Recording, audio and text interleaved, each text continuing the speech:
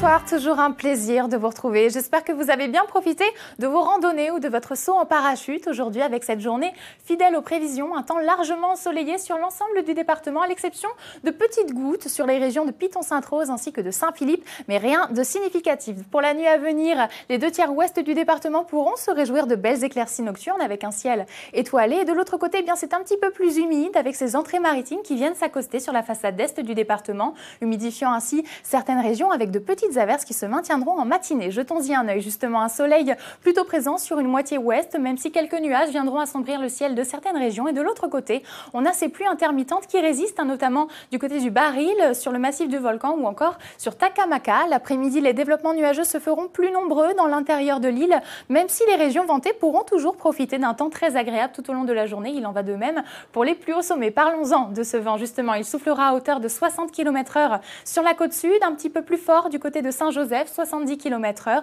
et 60 km/h également de Saint-Denis jusqu'au port. La mer est toujours agité à forte sur le sud sauvage au déferlement de ces deux houles. D'une part, une houle de sud-ouest voisine de 2 mètres pour la journée de demain, croisée avec cette houle d'Alizé voisine d'un mètre 50. Côté température, on se situe dans les valeurs de saison pour les zones littorales et légèrement supérieures pour les hauteurs. On sent progressivement la saison estivale pointer le bout de son nez. On relèvera en matinée 19 pour le Baril et Saint-Pierre, 15 pour Mascarin-Colimaçon ou encore 7 du côté de Petite, de Petite France. L'après-midi, le thermomètre se réchauffe avec 28 degrés sur le chef-lieu, 27 pour Saint-André et Piton Sainte-Rose ou encore 21 du côté de Takamaka. Dans les jours à venir, les entrées maritimes se font plus nombreuses sur la façade est du département, ce qui veut aussi dire des précipitations plus chargées. Les développements nuageux seront aussi plus importants dans l'intérieur de l'île et un alizé qui faiblit considérablement pour laisser place à un régime de brise. Les températures, quant à elles, oscilleront entre 6 et 27 degrés. Petit tour chez nos voisins avec un temps agréable sur Tananarive et Port-Maturin pour pas changer hein, et quelques pluies éparses sur Plaisance